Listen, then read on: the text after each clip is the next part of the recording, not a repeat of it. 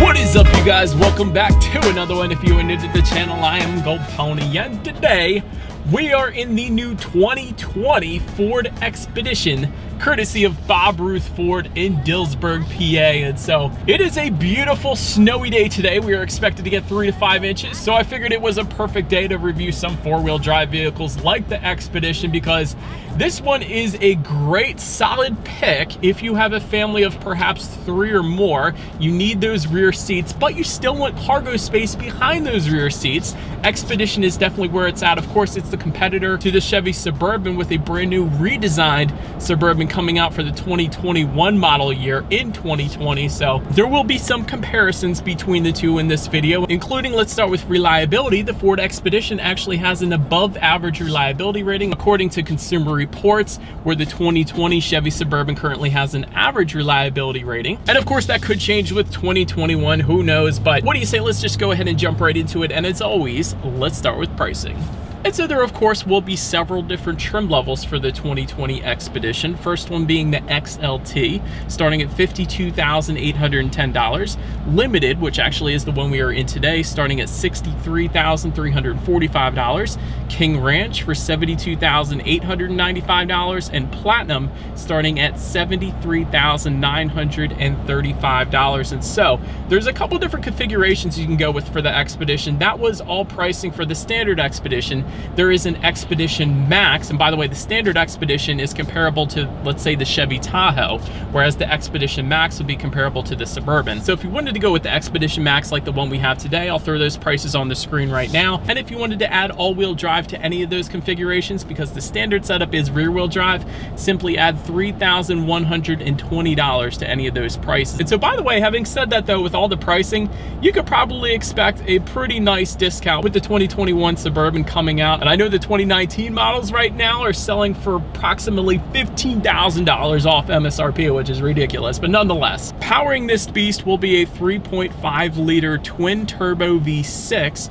putting out 375 horsepower at 5,000 RPM, 470 pound-feet of torque available to around 2200 RPM. Power again sent to rear wheels or all wheels through a 10-speed automatic, giving you MPG numbers at approximately 17 in the city, 24 highway for the rear-wheel drive, 17 city, 23 highway for the four-wheel drive. And by the way, that was the standard setup. If you go with the Expedition Max, it's 17 in city, 22 highway for the rear-wheel drive, mm. 16 city, 21 on the highway for the four-wheel drive setup that we have today today. And so before we do any kind of acceleration test in the Expedition Max, I did want to mention there are of course some driving modes available for this one. And to adjust those driving modes, there's actually a circular dial just behind the circular dial in front of it, which is how you select whether or not you're in drive, park, or reverse, or whatever the case. And so that's going to give you modes like tow, sport, low traction, and of course you can do two-wheel drive and four-wheel drive if you wanted to as well. But ultimately, those driving modes are going to adjust things like the shift points, throttle response, and of course the steering sensitivity activity. But so now, of course, having mentioned all that, what do you say? Let's go ahead and do a uh, quick little acceleration test here, and here we go. Oh my goodness. Traction on point. Wow. Okay. This thing definitely has plenty of get up and go absolutely no issues with merging onto the highway. Even in these wet, slippery conditions, traction was 100% on point. There was no slipping whatsoever, which is really impressive, honestly, because these conditions are not the best today, but I still love reviewing cars in the snow. But anyways, to go along with that acceleration, as always, braking is equally important. And so as expected, you will find power assisted four wheel disc brakes. And just to put them to the test, Holy moly, wow, excellent braking feel, perfect. That is one thing I've always said with the Chevy Suburban, and I don't know if they're gonna fix it for the 2021 model year, but it's a very spongy braking feel. It's kind of delayed. You really have to press down that brake pedal pretty hard to get the thing to stop, but with the Expedition, perfect braking feel brings you to an immediate stop so I absolutely love that and it's definitely a positive when comparing it to the Suburban. But so then touching on suspension and handling a little bit up front you're going to get an independent front suspension with gas pressurized shock absorbers and a stabilizer bar. In the back independent multi-link rear suspension same thing with gas pressurized shock absorbers and a stabilizer bar. Did want to mention there is an adaptive damping suspension for the King Ranch and Platinum and it's actually optional on on the limited, so you can get that if you want, but that adaptive damping suspension is really something I typically recommend because it really does give you the best of both worlds. Not only gives you a smoother ride, but it also tightens up the suspension during heavy cornering. Again, just really giving you the best of both worlds. So that is definitely something that I would go for if I were to get the Expedition personally. But having said that, speaking of ride quality, it's been absolutely perfect for me so far today. So I wouldn't say it's quite as smooth as some of the smaller SUVs like the Kia Telluride or the Hyundai Santa Fe or something like that. But still, considering it is a larger SUV, the ride quality is certainly just fine for what it is. But touching on steering feel, I actually quite like it. A lot of times with SUVs, you will find very loosey-goosey steering feels, but it actually has a very nice weight to it in this one. It's not too heavy, of course. Nothing like a Mustang or anything like that, but still, it's a very nice weight to it, so no issues there for me. Cabin noise is just fine. I think it's starting to hail now, so it's gonna be a heck of a fun time getting some exterior shots of this thing. But besides that hail or sleet or whatever it is coming at the windshield, cabin noise is just fine as it intensifies even more. Anyways, touching on visibility, I actually can see fairly well considering this is such a large SUV. And I did want to mention something. Those third row headrests, as large and in charge as they are, they can fold down. If you didn't have any passengers in that third row, that's certainly going to assist with visibility with the fact you can actually fold down those headrests so you don't have to worry about that hindering your visibility. Did would also mention in addition to that, windshield wiper deicer comes standard across the board for all trim levels. That is definitely going to be a plus on days like today. And also, rain sensing windshield wipers coming standard with the limited trim level and up and they are absolutely amazing. That's something that's a feature i absolutely love. More and more vehicles are starting to get them these days. So it's days like today where the windshield starts to get a little bit wet they're going to automatically turn on for you when it feels it's necessary. So really it's just one less thing you're going to have to worry about. So you can better focus more of your attention on actually driving and keeping your rear passenger safe because of that. So that's definitely a plus. But that about rounds out the performance segment of this review. Let's now go ahead and take a look at the exterior of this large and in charge 2020 Ford Expedition. All right, so here it is, you guys, on this beautiful snowy day here in Pennsylvania, the 2020 Ford Expedition. And so let's go ahead and start up front here.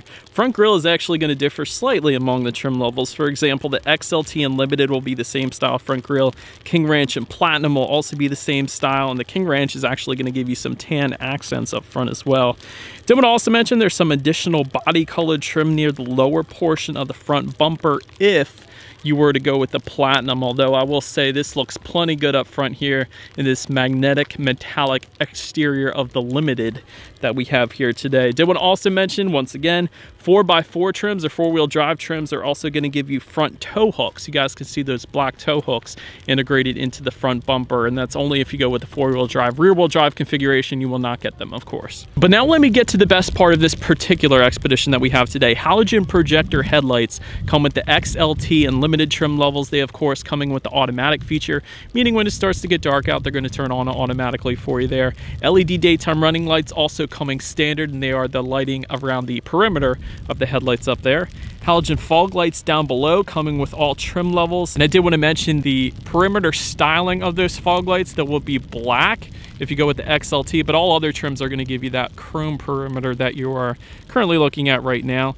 LED headlights coming with the King Ranch and Platinum trim levels. However, they are optional on the limited. And that is what you are looking at right now that option. You can get them individually for an additional $740 that's the least expensive way if you only wanted those led headlights. But there is also a package deal that of course will include them as well but it's around 50 some hundred dollars a little over $5,000 for that. But LED fog lights coming standard with that LED lighting package as well. By the way LED lighting is not available on the XLT in case you were thinking you wanted to go that route. But let's go ahead and make our way to the side as I freeze my butt off today here.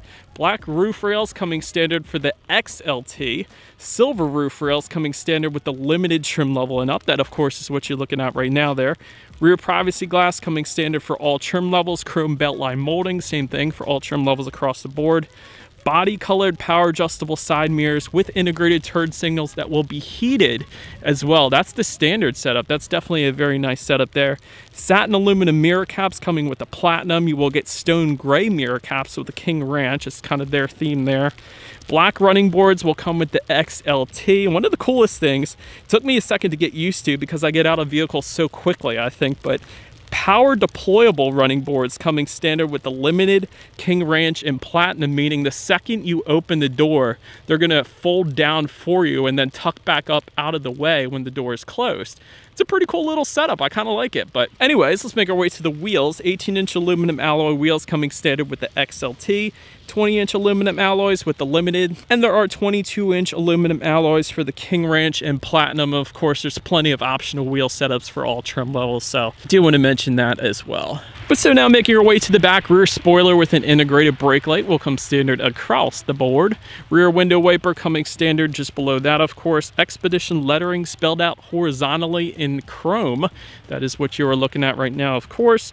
LED taillights, once again, coming standard across the board. Very nice there. Well done, Ford. Trim level badging, of course, found in the lower left-hand corner there. You guys can see the word limited down there, of course.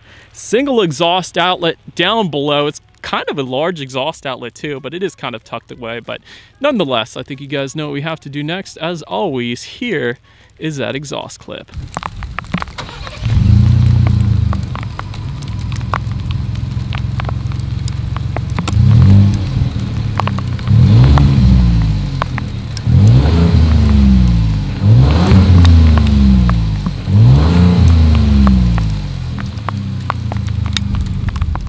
So now since we are around back, when it comes to opening that rear lift gate, there of course are a few different ways. There actually is a button in the back, so that's always probably your easiest way. There is a button on the key fob as well. That is yet another way to go about opening it. And by the way, there is a hands-free foot-activated power lift gate if you were to go with the limited trim level and up. So that's always convenient, especially if you have your hands full of kids or groceries or whatever the case. So that's definitely a plus for the limited trim level up. But once opened up, cargo capacity is going to come in at 19.3 cubic feet for the standard setup, not the one you're looking at right now.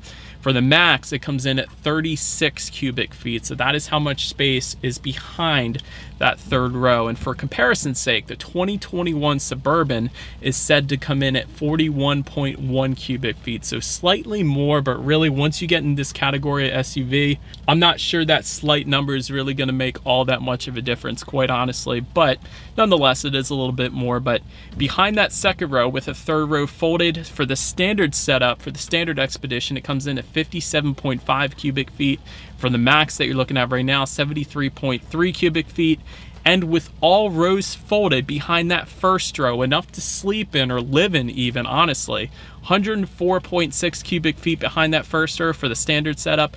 121.5 cubic feet behind that first row for the Max, the Expedition Max. For comparison's sake, my Hyundai Santa Fe is 80 cubic feet. I know the Kia Telluride is 87 cubic feet, and this Ford Expedition Max is 121.5, so a very substantial difference between a lot of the other three-row SUVs out there. And again, for comparison's sake, 2021 Suburban, 144.7, which actually is a pretty good difference actually between the Expedition Max and the Suburban. But nonetheless, let's continue on here. In-floor storage can be found back there. There is a rear cargo light, 12 volt power outlet. You got some grocery hooks, but really 121.5 cubic feet behind that first row is absolutely ridiculous. But let's make our way now to the rear legroom. Third row legroom comes in at 36.1 inches. That is brilliant for an SUV and brilliant for a third row specifically. For instance, I'm even six feet tall. This is how much space I had back there. Plenty of space back there. There's actually USB charging ports for the third row passengers. So if you had kids playing on their tablets back there on a long road trip, they can actually charge up their own tablets back there because there's USB charging ports back there. That's once again very brilliant. And by the way, there are three seats in that third row. A lot of three row SUVs will come with two seats in the third row, so I did want to mention that as well. Making our way to the second row, that is going to come in at 41.5 inches. Again, for reference, I'm an even six feet tall, plenty of space for me back there. Once again, USB charging ports for those second row passengers. And I did want to mention, this is one of the big things. A lot of people will like one setup or another. The standard bench seating for three people in that second row is going to come standard with the XLT and limited trims. However, if you wanted captain's chairs, simply go with the King Ranch or Platinum, or if you wanted it on the limited, you can do that for only an additional $595, which really isn't all that bad. So that is probably what I would go with because if you did have kids using that third row, it's a lot easier to just have them jump in the side, run up the center there to the third row than having put down the second row. Although putting down the second row isn't all that bad, honestly. It's just an adult more than likely is going to have to do it as opposed to a kid. But nonetheless, rear ventilation, of course, coming standard for every Expedition that's going to be found on the roof of this one. So all three rows can stay perfectly comfortable. And this particular Expedition has some options with it, of course. Did want to mention them. There are heated rear seats on this particular setup. Then there's some cup holders that actually come standard either way, but kind of found in between the driver and passenger seats, but more geared towards the rear passengers. So they have some cup holders there too. So also in addition to those USB charging ports, I also wanted to mention this, there's a 150 watt power outlet as well. So perhaps girls, you could charge up your hair straightener or whatever in that second row, or guys, you can charge your tools. Now let's go ahead and make our way to the front seats. Cloth surfaces coming with the XLT, leather surfaces coming with the limited trim level and up, XLT also gives you an 8-way power adjustable driver's seat with power lumbar. Limited trim level adds to that 10-way power driver's seat and 10-way power adjustable passenger seats, and they will be heated and ventilated front seats if you go with the limited trim level and up as well.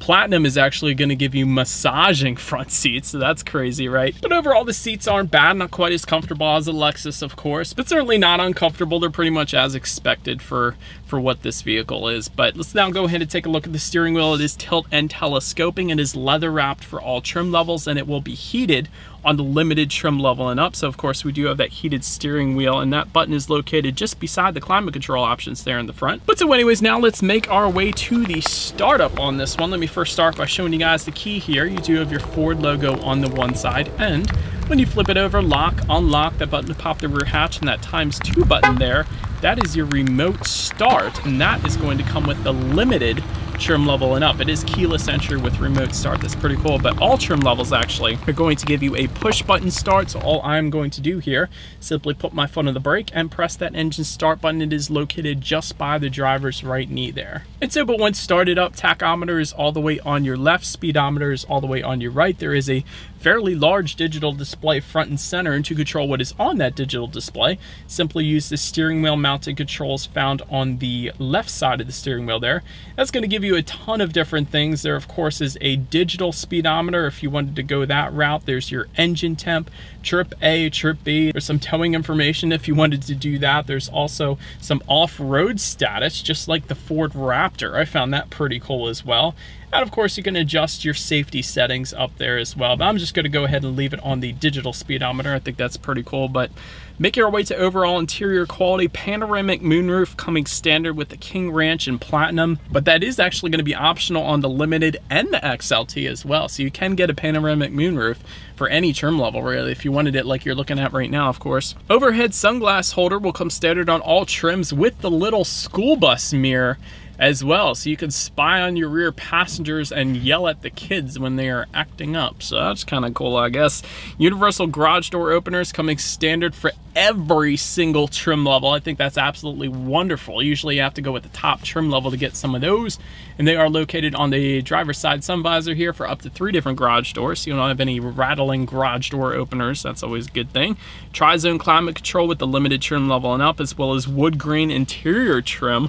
Love that found around the shifter, the circular shifter here, just around the drive modes. A lot of times with a lot of other vehicles, including my Mustang, that'll be plastic, but I like the wood grain interior trim. That's pretty cool. Ambient lighting coming standard with the limited trim level and up, and it is in ice blue color. You cannot adjust the colors, unfortunately, like you can in a Mustang, but still pretty cool that that's there. Wireless phone charger, once again, with the limited trim level and up, that's located just in front of the shifter and cup holders there. And a cool little feature, actually, about the Expedition, you have dual passenger side glove boxes. You have your standard glove box, of course, which has two compartments, by the way. There's a little compartment up top there, and there's also your bottom compartment, but then there is an additional glove box just above above that for even more storage. I found that pretty cool. And overall, the finishes are definitely quite nice. There's a lot of stitched leather up top here above the glove boxes. There's a rubberized kind of cargo area just above the infotainment screen, and I'll get more into that later, but rubberized cargo area, meaning if you do go off-road in this thing, it kind of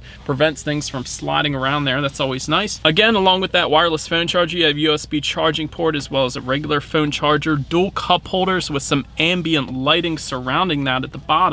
And then of course, within that center armrest, you have a absolute massive area to store just about anything. You could store a cat or a small dog in there, quite honestly. It's that large.